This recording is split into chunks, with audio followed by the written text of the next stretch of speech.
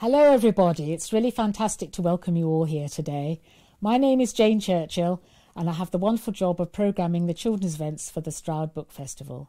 Today, I'm really thrilled to be introducing Abi Elphinstone. She's an amazing author, and if you haven't already read her, I urge you to do so straight away. Today, she's going to be talking about Jungledrop, which is actually the second book in her Unmapped Chronicle sequence. The first book is Rumblestar, and you might like to start with that one and then go on to Jungledrop, but you can read them in any order. I think you're going to be in for a really fantastic session, so sit back and enjoy yourselves.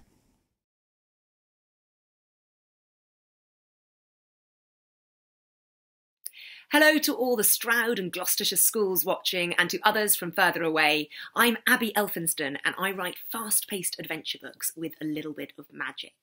Now, when I was at school, when I was your age, I used to think that the people who got to become authors were the people that were so unbelievably clever that they just looked at a blank sheet of paper and then a story tumbled out. But the more writing I've done, the more authors I've met, I've realised that is not it at all. All you guys need to write an incredible story is an idea that nobody else has stumbled across yet. And I like to find my ideas through adventures, both close to home and far, far away, and through accidental daydreams. So, today I'm going to talk to you about the adventures behind my books and show you some props behind my books, and then I'm going to answer some of your questions at the end. So, I'm kicking off with a question for you guys. Do you think when I was in year two that I wanted to be an author when I was older? So, hands up for yes, you wanted to be an author. Hands up for no. Right, no is the right answer. Um, I didn't want to become an author when I was in year two. I wanted, as you can see from this next slide, to be a unicorn. So when I realised that this was ridiculous and I wasn't going to make much money or many friends, I decided to rethink things completely. I became a teacher. And it was when I was teaching English that I thought back to the books I loved when I was your age, the books with short chapters and big adventures, and I thought, I want to write one of those. So the first thing I did when I sat down to write a book was I thought back to where I'd grown up. I grew up in the middle of nowhere in Scotland, as you can see from this slide here. I spent my weekends scrambling over the moors, building dens in the woods, looking for hidden waterfalls and eagles' eyries in glens. And I ended up using every single place that I explored as a child in a book years later. So this was my very first book, The Dream Snatcher. It's the first book in a trilogy. It goes Dream Snatcher, and then you've got Shadowkeeper and Night Spinner. Every single place in these books, somewhere I explored as a child. So, in light of that, I wonder if you can tell me who you think this is in the next slide. So, the last school I spoke to said, Is it God in Wellington boots? And one kid said, Is it a giant? It is not a giant ape, it's my dad. And that photo was taken when I was in year five and he climbed to the top of a hazel tree and he chopped down a branch and he gave it to me. And I was like, well, thanks for the branch, Dad. And he said, see if you can carve it into a catapult. So a few hours later, I had this. So this is the catapult, carved from hazel wood. Hazel's really strong, so if you want to make a bow and arrow or arrow or a catapult out of wood, hazel's a good one to make it out of. And then I just got some rubber, some tubing here, a pouch of leather from my shoe, and a rubber band and a hair bobble. And if you put a pouch, uh, a pebble in the back in that pouch and pull back to your jaw, you can fire. So I didn't think anything of it when I was in year five. I just thought it was a cool thing to do with my dad. And then years later, when I wrote this book, The Dream Snatcher, I ended up using the catapult as a feature of the book. So, in The Dream Snatcher, um, three kids are living wild in the woods, and they're armed with catapults that was drawn from my childhood with my dad, and a wildcat, and tons of magic. And they have to find the three amulets of truth, objects steeped in riddles and heaped in curses, before the Shadow Masks, a group of sinister witch doctors, do. So, wherever you are, pinch the rivers, borrow the woods, steal the street names, and pop them into stories of your own, just like this catapult ended up. Um, I once pinched, let me see if I can find it here. Yes, I pinched a character name, Moll Pecksniff, from a shower gel in, CK, in TK Maxx. I was shopping and I came across this shower gel, Pecksniff. And I thought that's a stupid name for a shower gel, but quite a cool name for a character. So yeah, the heroine of the Dream Snatcher is called Moll Pecksniff, named after a shower gel. So you, you, can pinch names, character names, ideas for worlds anywhere. Um, you can use ideas from inside your own home. You don't need to go out to the shops or climb a tree. Um, I spilt a whole load of yogurt the other day. I opened the fridge door and the yogurt tumbled out and it went onto the floor. And I was looking at the dollops of yogurt and I thought, dollop is a great word. No one uses dollop that much. And so I've called a character in my latest book, the one that comes out in May, it's called The Crackledawn Dragon, I've called a goblin dollop inside it. Um, and then the other day, my toddler had a really bad nightmare. And I heard him crying in the night, so I ran up the stairs. I was like, What's wrong? And before I'd even got to him, he was still asleep. He was crying out in his sleep, saying, Don't cut my toenails! So weird. And I ended up using that phrase, Don't cut my toenails, in a book recently um, as part of a sort of joke. So you can steal anything, something your sibling says randomly in the middle of the night, fallen yogurt out of a fridge. Now, let's see what we've got next. Um, the next slide, here we go, is about a book that I wrote um, after an adventure far, far away. So, The Dream Snatcher was inspired by adventures close to home. In Sky Song, I travelled a little further afield to write the book. Um, I came across this next photo here. Um, I remember looking at this photo thinking it was really cool and wondering what was going on in this photo. So I scrolled down the article and I looked at the caption underneath the photo.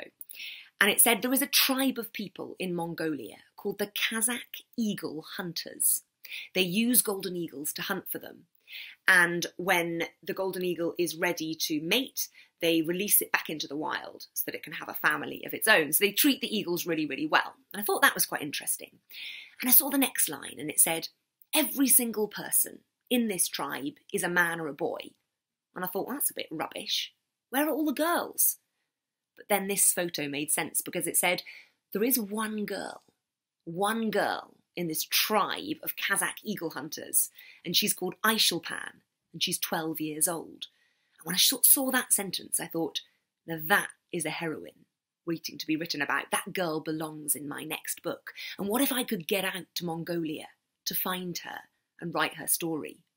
So Sky Song ends up being a book about an eagle huntress, an inventor boy, and an organ made of icicles. It's also a story about belonging, even at the very edges of our world.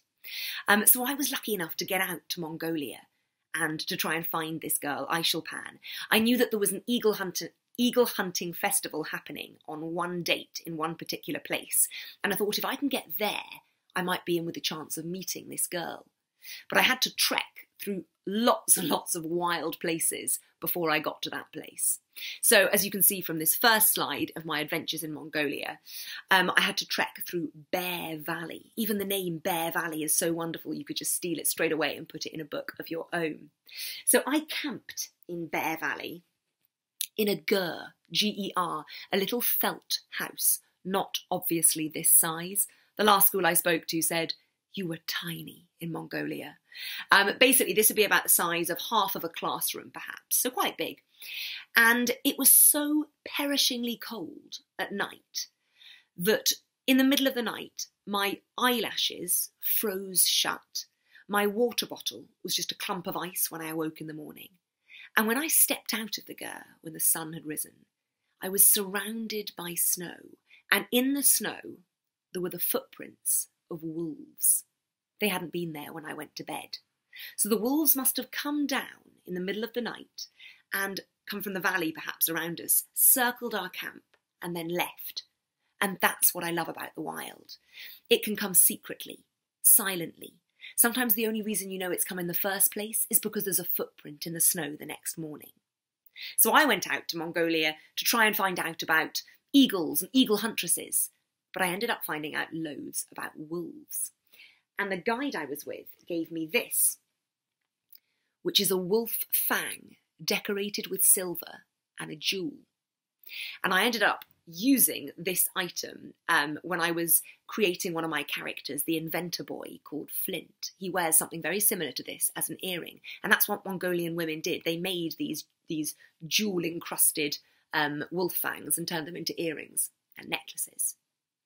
So um, I went on and on through the wilderness to try and find Aishulpan, and eventually I found her. You can see in this next slide, there we go, is a photo of me with Aishulpan, the only eagle huntress, and she took me hunting with her.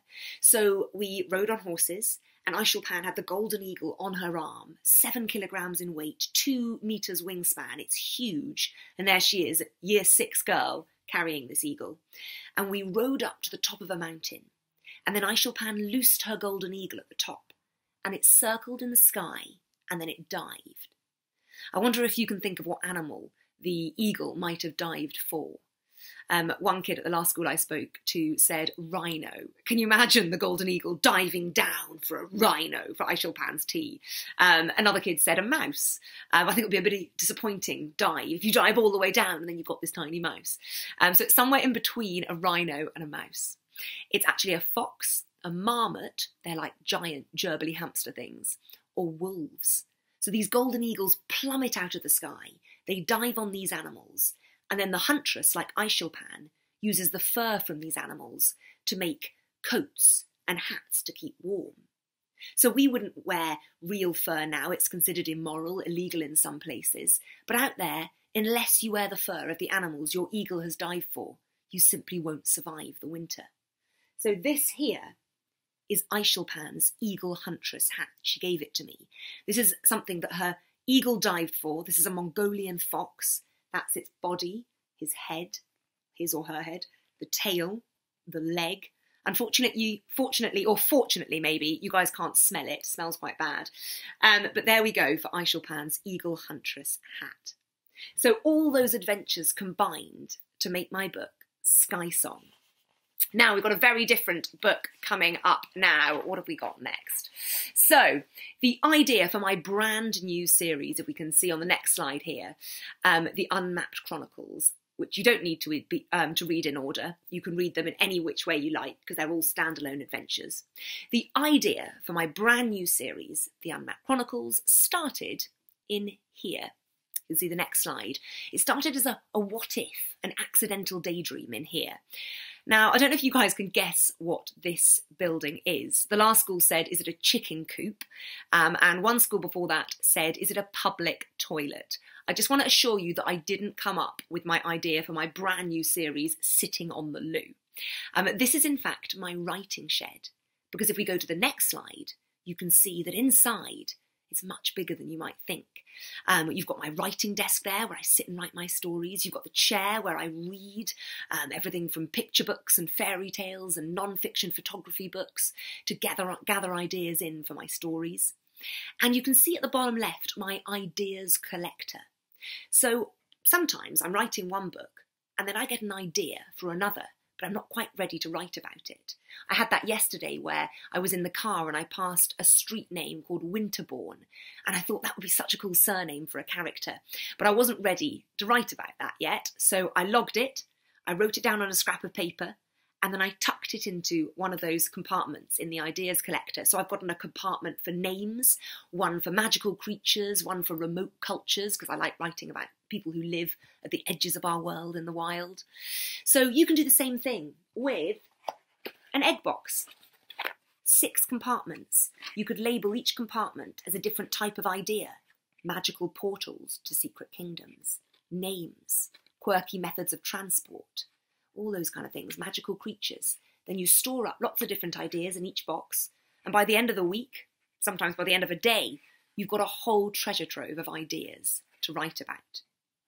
So I was sitting in this writing shed and I was thinking back, if we can go to the next slide, um, to all the incredible skies that I'd seen on my adventures. Pink sunrises, orange sunsets, rain that conjures rainbows and makes waterfalls roar, frost that catches on a single spiderweb and lights it up so it looks like it's frosted jewellery. And I started thinking, what if the grown ups have got it all wrong about our skies? What if it's not science and geography behind the weather, but magic? What if there are four secret kingdoms Rumblestar, Jungledrop, Silvercrag, and Crackledawn, filled to the brim with magical beasts all beavering away to make weather for our world? Maybe you could have snow trolls beavering away with moon syrup and cloud whisk to make snow, and drizzle hags brewing rain in giant cauldrons. And so this idea of the unmapped kingdoms came about. Now, each book in this series is an adventure that follows a different child from our world who finds a way through to the magical kingdoms. And they have to save the unmapped magic from an evil harpy called Morg, who is bent on stealing it. So in Jungledrop, you can see from the next slide, there's the cover. In Jungledrop, you meet 11 year old twins, Fox and Fibber Petty Squabble, who have been rivals for as long as they can remember. Only one of them will inherit the family fortune. And so a race is afoot to save the dwindling um, Petty Squabble empire and win the love of their parents. But when the twins are whisked off to Jungledrop, an unmapped kingdom in charge of conjuring weather for our world, and in particular rain for our world, they must join forces in a race against time to find the legendary Forever Fern before Morg. Because if the evil harpy finds this Forever Fern first, then our world and all the magical kingdoms will crumble. But if the twins can find the fern first, they'll save the world, restore rain to our world, and keep the unmapped kingdoms safe. So they find themselves thrust headlong into an adventure in an incredible glow in the dark rainforest. I was lucky enough to get out to Brazil before writing this book. You can see from the next slide here. I was lucky enough to get out to a place called the Pantanal, which is the world's largest tropical wetland. It's an enormous patchwork of lagoons, marshes, and swamps and lakes, sprawling Bolivia, Brazil, and Paraguay and it's home to 4,700 plant and animal species, making it one of the most biologically diverse places on Earth. So, out there, I snorkeled in the Olho d'Água River, you can see the next slide, amongst some very frightening creatures. I snorkeled amongst piranhas, pacu, and anacondas, the world's largest snake, some of them weighing in at a colossal 200 kilograms. I was terrified when I stepped into that river. But I like to think what lies beyond fear? What might we discover? And who might we be if we're brave enough to push past being frightened? So that river, when I stepped inside it and I started snorkeling, turned out to be a light filled temple of wonder. Unlike many rainforest rivers, which are really murky in colour, this river passes over a limestone karst and that purifies the water. There are lots of minerals in it and it's crystal clear. And in just this single mile long stretch of river, there were 65 types of fish, as well as alligators and giant otters. And it made for an amazing place to set a story. Um, you can see, I think, from the next slide, if we go one more on, here we go. Um, this is me abseiling into a jungle cave. So during my stay in the Pantanal, I also abseiled 75 metres down into a jungle cave. You wouldn't know that this cave, Abismo Anhumas it was called, existed. There was just a tiny opening in the foliage, in the leaves in the jungle. But if you peered inside, you could see there was an almighty drop. And so I abseiled 70 metres, 75 metres down into this cave, past walls that had never seen sunlight and I thought when I got to the bottom that I'd be at the end of my adventure. But there was an underground lake at the bottom. You can see on this next slide here. There you go. There was an underground lake at the bottom of this cave, and I ended up snorkeling inside it. The lake went a further 75 metres down into the centre of the earth. So it was like being locked in the very bowels of the earth, deep underground. Again, a, a place that felt so full of magic and so full of stories. And it was perishingly cold in this lake, but I swam in it nonetheless. And I ended up writing about a lake a little bit like this and a cave a little bit like this um, called Cragheart in Jungledrop. So, the tropical world of the Pantanal and its surrounding areas built my fictional world in Jungledrop. Its pink trumpet trees became my gobblequick trees in Jungledrop. Its marsh deer, deer became my swift wings. They're a bit like hippogriffs, but a lot clumsier. Um, and its jaguars became my golden panthers. The caves, as I said, became Cragheart. Um, but with Jungledrop, I wanted to write a story that not only celebrated the natural world and the wonders of the wild, but also one that highlighted its fragility. Because due to infrastructure and untreated waste pollution and deforestation, the Pantanal, which provides food and water to millions of people, is running out. It's, it's vanishing. And by 2050, it could be gone completely if we don't take action now. So I have in Jungledrop a jungle on the brink of ruin. It's a glow in the dark rainforest filled with magical beasts, but when the twins, Fox and Fibber, arrive, things aren't looking so good. The thunderberry bushes are withering, withering away, magical creatures are struggling to survive, and the gobblequick trees are, are dying. And it's up to Fox and Fibber, Petty Squabble, to step in and set things right. So you do not need to go to the jungle to write a book about a rainforest. All you need, as I said, is an idea that nobody else has stumbled across yet. Um, so once you've got an idea, it may be sparked out of something you've seen just walking outside your house or something inside your house, or maybe just because you've got a crazy good imagination. Once you've got this idea, you need to think about how can I turn it into a book? Where do I go from there? How can I write a really brilliant story? So I think there are five steps to building a building a magical world basically and building it really well. And if you do each step really well, I think you're in the chance in with a chance of creating a fantastic, best-selling, fantastical adventure book.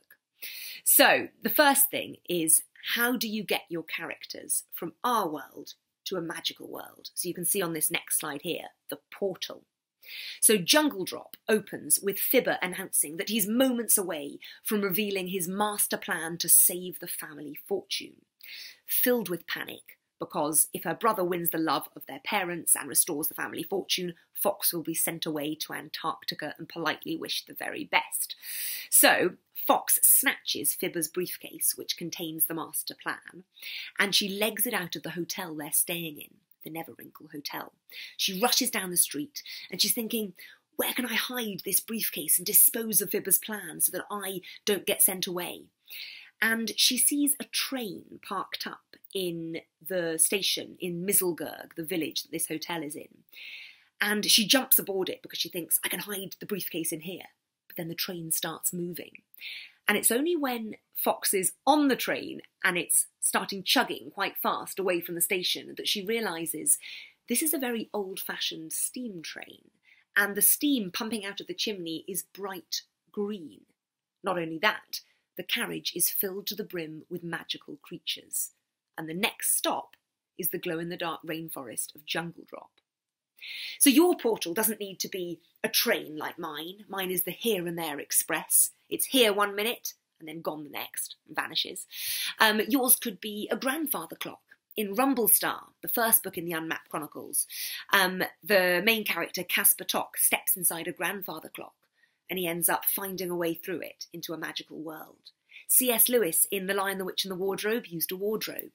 Um, Northern Lights, um, Philip Pullman's trilogy, his Dark Materials, they used, or Will, the main character, used a knife, a subtle knife, to cut a way through into a magical kingdom. So you could have an elevator, um, a mirror, a wardrobe, whatever you like. Usually it's an object that a character either holds or steps through to get into a magical kingdom. What happens when your characters arrive in your magical world? When I sit down to write a story, my ideas are a total mess. I'm dyslexic, so I have to draw my way into my stories. That's how I untangle the knots inside my brain. So you can see on this next slide the map. I didn't draw this map, my illustrator did, but I drew him a rough map in pencil with lots of scratchings and scribbles, and he then turned it into this brilliant map here, which goes in at the front of Jungledrop. So I draw my way into my stories. I draw a world I'd love to visit.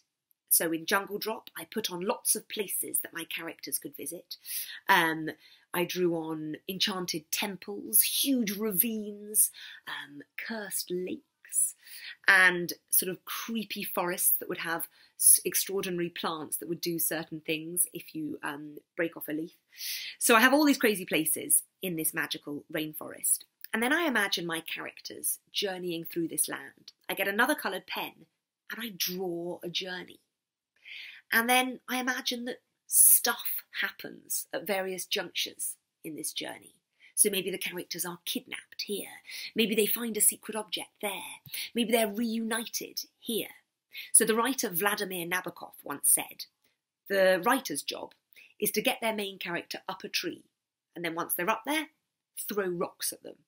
That's essentially all you're doing in your story. You're making stuff happen to your main character. So once I've got this journey, that then becomes my plot. And I'm starting to write. I'm feeling more confident. So if you struggle with turning ideas into a book, or if you're dyslexic, then draw your way in. The next slide, the transport. How do your characters get around when they get into this magical world? So the quirkier the better with transport. In Jungledrop, characters ride on enchanted unicycles over treetop creepers. They're linked in this network of creepers that forms the Hustleway. So you can get across the rainforest by travelling on these unicycles all the way through the creepers. In Rumblestar, the characters travel from place to place in enchanted hot air balloons powered by um, dragon fire. So you guys could have any kind of quirky um, method of transport and you could just tweak it slightly and fill it with magic. And that will mean that it's exciting for your reader to read your characters moving from A to B. It's not just a slog if your characters are running here and there and everywhere. Jazz it up with some quirky methods of transport. Now, the next one, I think it's number four. Yes, the next slide, four. Do your characters have any help in the form of magic? The best kind of magic, for me, hinges on the pos- possible. So I like to take an ordinary object and then ask myself, what if this ordinary object could do something extraordinary? So you can see from the next slide here, yes, um, I have an, a sort of item here, um, a blank piece of parchment. And in Jungledrop, Fibber and Fox are given this blank piece of parchment. And they think, well, this isn't going to help me save the world. This is going to help me beat a harpy and find the forever fern. But they don't know that this old piece of parchment is actually a Flickertug map. It's imbued with loads of magic. They're also given two more objects um, to save the world, one of which is a mirror, and the other is a spoon. Can you imagine if you were asked to save the world and someone gave you a spoon? But this spoon is not an ordinary spoon, it's a fable spoon. And this mirror is a double skin mirror. So these can do magical things. I'm not going to spoil it and tell you exactly what they can do. Um, but the key is to pick an ordinary object and turn it on its head. What if that object could do something extraordinary? Now, the next slide, we've got another slide. Yes, here we go. Um, number five, when you're building this magical world, what's your book's message? What are you really writing about? So, on the surface of things, I write adventure books, and Jungledrop is an adventure story. But really, it's a story about two kids finding their way with the help of a Flickertug map, and of them realising what most grown ups take a lifetime to understand that kindness to each other, to the planet, and perhaps hardest of all to ourselves, is what holds kingdoms and worlds together. Now, to finish, if we go to the next slide, I'm going to show you my top three tips if any of you guys want to become writers one day. So, number one, we can go here, is carry a notebook with you everywhere. As a writer, you're like a detective.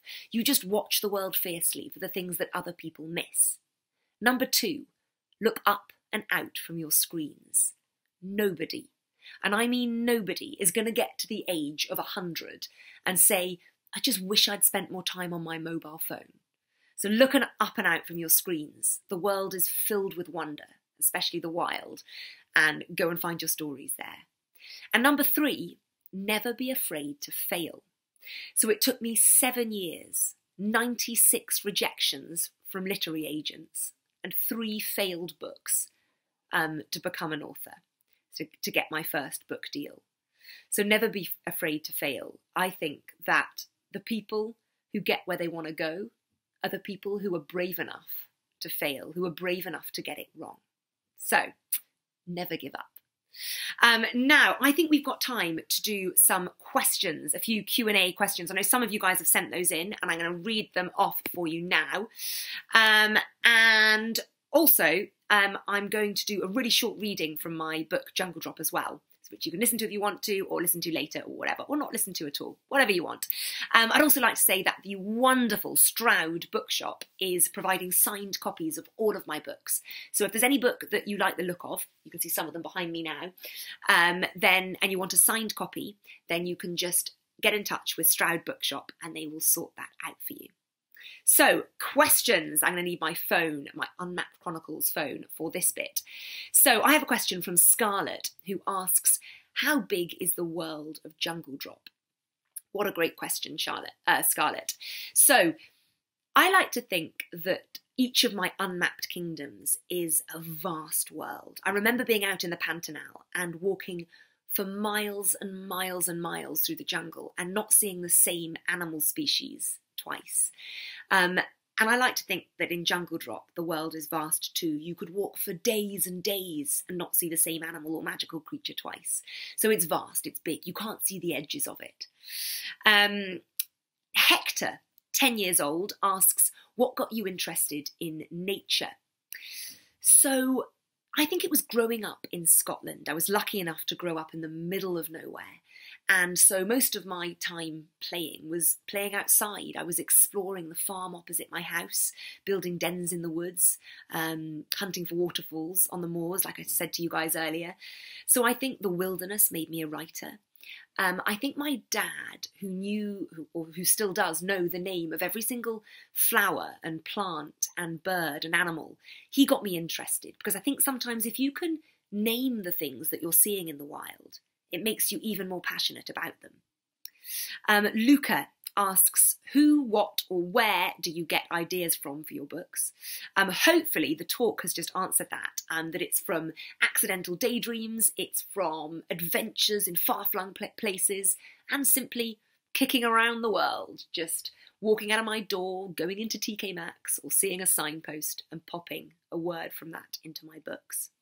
Um, Luca also asks, where do you like to write your books? Um, I write either in the shed in my garden or I write when there isn't a pandemic on buses and on trains. I do a lot of school visits. So when I'm on the train towards visiting a school, I write on the train. Um, I write anywhere basically. Once I wrote a line of a book on the back of a motorbike. My husband was driving and I was on the back, and I was on deadline and I wanted to get the book in for the deadline. So I tried to write on the back of the motorbike, but it didn't work.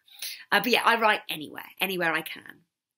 Um, and Scarlett again asks, what can we do to help stop climate change? Um, and she says, I help by doing gardening club at school and I plant vegetables. Scarlett, you sound truly awesome. Um, I would love to meet you one day. Um, what can you guys do to um, save the planet? So, a number of things. First of all, I think you've got to fall in love with the wild if you want to protect it. So get outside and explore the beautiful world we live in. Um, read adventure stories set in the wild, like Piers Torday's books and Lauren St. John's books and Katherine Rundell's books.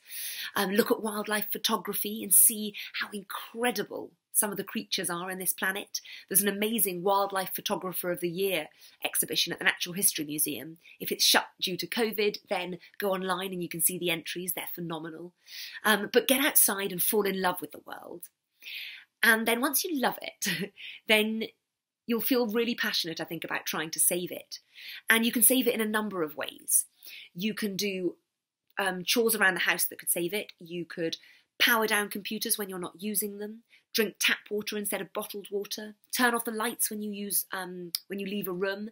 Donate old clothes and um, toys to charity shops shops instead of just chucking them in the bin. You can use beeswax instead of cling film. Um, if you want to go a little bit bigger, you can set up a fundraiser, um, Born Free. If you go to their website, have incredible posters of animals that you can raise money to save, like the endangered snow leopard. And you can go onto the website um, www authorsforoceans.org um, and sign a pledge to reduce the amount of plastic you use. Because if we carry on using the, the plastic at the rate we are now, there are going to be more. There's going to be more plastic in the ocean than fish by 2050. So there are tons of things that you guys can do to save our world. Thank you for those questions, Scarlett. Um, there were a few extra questions that came in. Which of the books you've written is your favourite? I used to say Sky Song. We can see that one here. Um, Sky Song was my favourite, um, and still is in some ways. It's a, a, book set in a snowy kingdom, as I was talking about, um, with the eagle huntress and the inventor boy and the organ made of icicles. And there are Erkin bears and homes, hidden homes inside mountains. Um, I loved snowy stories as a child, like Northern Lights, The Wolves of Willoughby Chase, and The Lion, the Witch, and the Wardrobe, and The Snow Queen by Hans Christian Andersen. So I always wanted to write a snowy tale, and this is the book that I wrote because of that.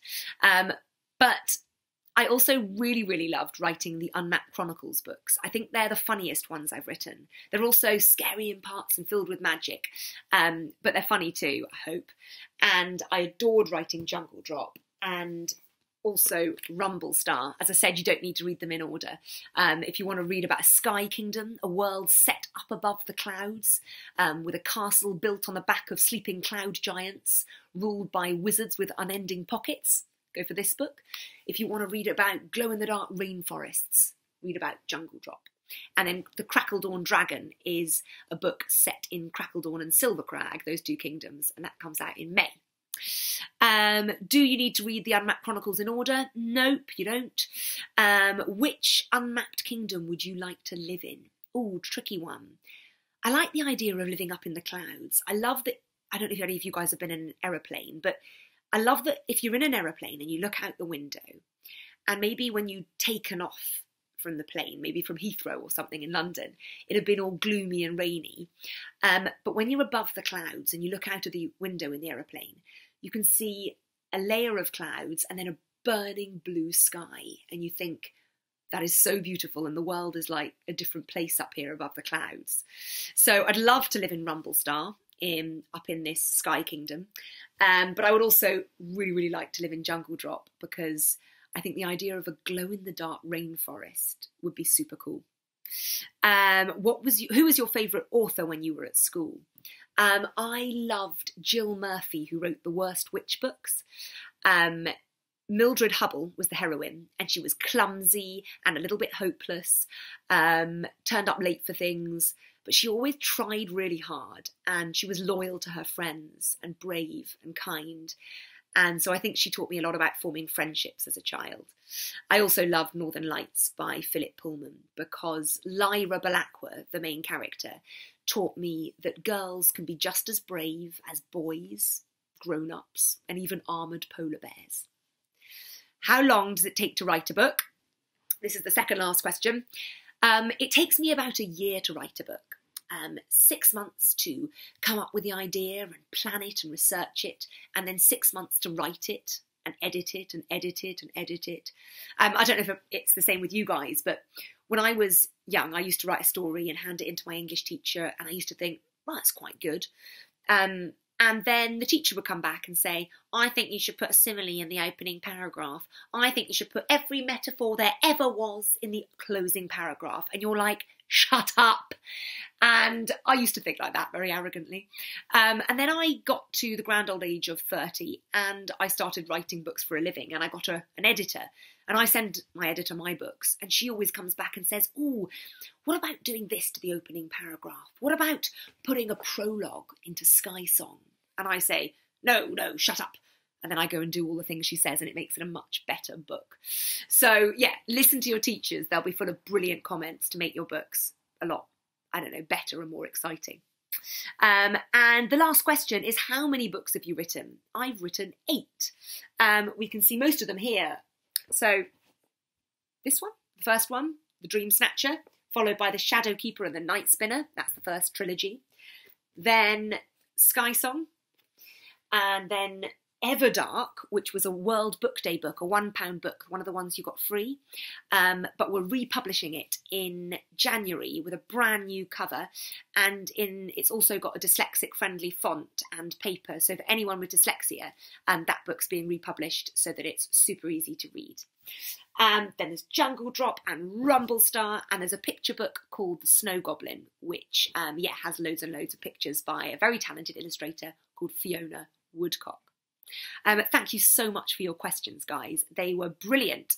Um, and I think from this rabble on my bed, whether rubble on my bed, um, dyslexic, see, using all the wrong words at all the wrong times, um, I think I'm going to try and do a reading for you guys now. Um, a really quick reading um, from Jungledrop. So, let me see. It's page 32 and 33 if you guys have got the books yourselves so you can follow along. Um, I'm going to read you an extract um, from Jungledrop. And as much as I wish that I could introduce you to a boy and a girl brimming with charm for this story, I'm afraid I can't. Because the Petty Squabble twins have as much charm as a politician's underpants. Um, but just because someone has a sharp tongue and a thorny heart at 11 years old it doesn't mean that they're going to stay that way forever. Quite the contrary. Children, I've discovered, are remarkably bendy creatures. Um, just when you think you've got the measure of them, they end up twisting and turning and surprising you altogether. Even the truly dreadful ones, like Fox and Fibber Petty Squabble. In fact, sometimes it's children like them who make for the most interesting heroes of all.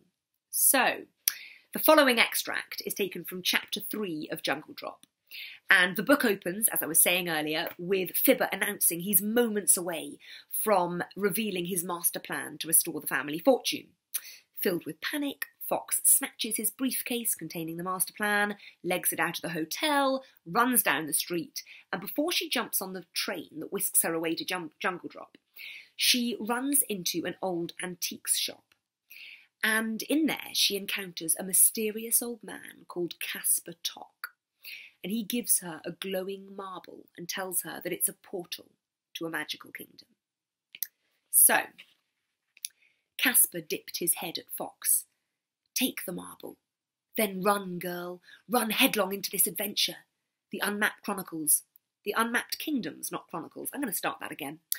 He, um, Caspar dipped his head at Fox. Take the marble. Then run, girl, run headlong into this adventure. The Unmapped Kingdoms have chosen you, and when magic sets its sights on someone, it's remarkably hard to wriggle free. Fox blinked. The old man was off his rocker. He had to be. But her plans lay in tatters. Fibber was on the brink of victory, and there was something about this marble burning in the gloom, something wild and hopeful. She grabbed it from Caspar's outstretched palm, just as Fibber was raising his briefcase in triumph. Then she turned and fled from the shop. Fox tore back down the street. She couldn't go back to the hotel because her parents had been very clear come up with a plan or be posted to Antarctica. She had to get away from here immediately. And yet she had no idea where to go. She hastened on down the street. Then the train station came into view once again, and Fox felt the marble tingle in her hand. Without thinking, she turned into the station, rushed past the empty ticket office, and onto the echoing platform, and there, like a gift, a glorious, hope giving chance of a gift, was a train.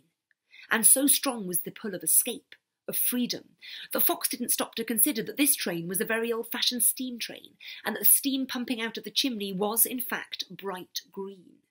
She gripped the marble tightly, hurried along the platform, and though she didn't know where the train was going to, she leapt aboard. She turned to see Fibber dashing towards her. What was he doing? He had been desperate to find his briefcase, and yes, he wasn't, it appeared, desperate to hurry back to their parents to reveal the master plan inside it. Had he been lying about the contents? What if his briefcase didn't hold a genius business plan? Fox felt sure, though, that Fibber had something of value inside it, something he didn't want to lose. The train started chugging forward slowly, and Fibber quickened his pace, throwing himself aboard just before the train gathered more speed. And Fox realised then that her world which had seemed so ugly and unchanging before, now looked ever so slightly different. There were surprises and secrets bound up inside it. Why on earth, for instance, had her brother followed her onto this train?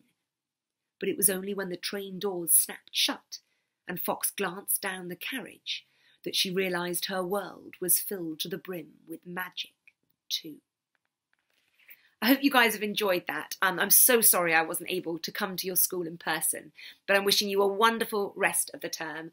And remember to keep reading lots. Books make you kinder and infinitely more interesting. Bye. Thank you so much, Abi, for an absolutely brilliant and fantastically inspirational session. I'm sure all the children watching enjoyed it thoroughly too. I'd also like to thank our sponsors ALCS for very kindly sponsoring the event. If you'd like to buy the books afterwards, please try and buy them at your local bookshop. There's also a link available on our website to do so. And thank you again, Abi, for an absolutely wonderful session.